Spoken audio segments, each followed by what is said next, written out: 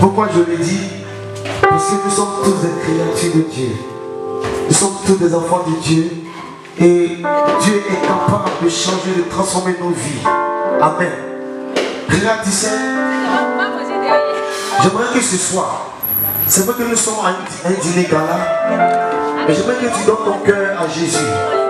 J'aimerais que tu te livres totalement à lui.